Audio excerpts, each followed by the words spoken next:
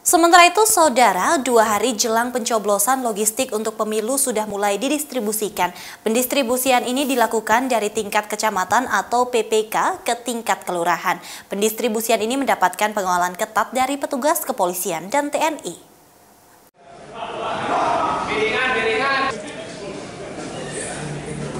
Di Panitia Pemilihan Kecamatan PPK Blimbing, Kota Malang, pendistribusian logistik pemilu sudah dilakukan sejak Senin pagi. PPK Blimbing sendiri mendistribusikan 2.540 kotak suara ke 11 kelurahan. Untuk bilik suara, selain menggunakan bilik suara yang baru, PPK Blimbing juga masih menggunakan bilik suara yang lama dari aluminium.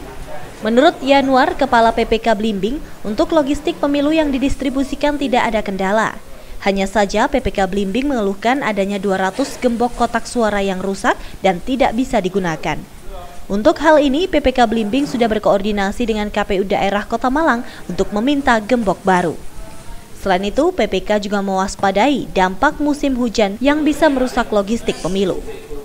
Untuk mengantisipasinya, PPK menyiapkan plastik dan terpal selama proses distribusi. Kita masih bukan gembok, gemboknya ada beberapa yang rusak. Cuma atau bunul, bunul itu ada 200 gembok yang kotor pada saat dipasang. Untuk mengantisipasinya? Kita sudah minta ke KPU.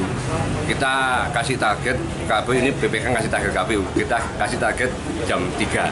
Kalau tidak ada tidak tidak tidak segera datang gemboknya, kita nanti akan mengambil keputusan untuk beli gembok sendiri, nanti biaya kita gantikan KPU. Pendistribusian logistik pemilu sendiri mendapatkan pengawalan ketat dari polisi dan TNI, juga dibantu oleh Satpol PP dan Linmas. Tim Liputan, Kompas TV Malang, Jawa Timur.